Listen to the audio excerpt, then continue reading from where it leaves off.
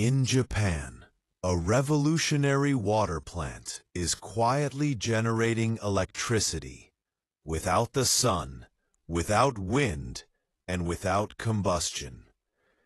This innovative facility harnesses a natural phenomenon known as salinity gradient energy, or blue energy, by mixing salt water from the ocean with fresh water from rivers.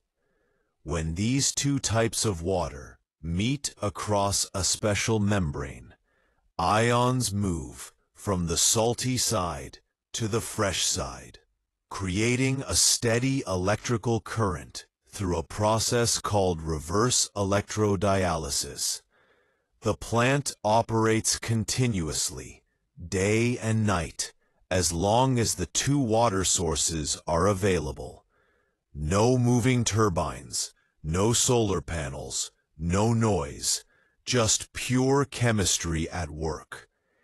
Inside the plant, stacks of ultra-thin membranes guide the ion flow between saltwater and freshwater compartments, with each membrane set acting like a tiny energy cell.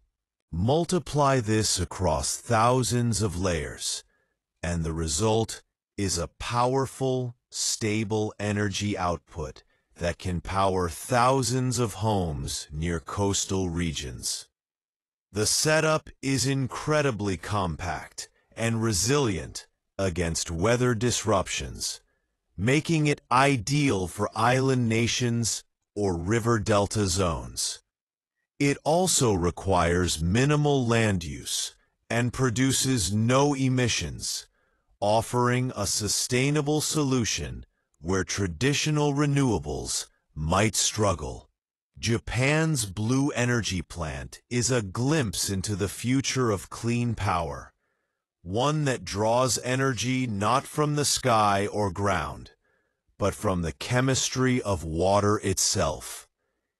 It's silent, ceaseless, and endlessly renewable.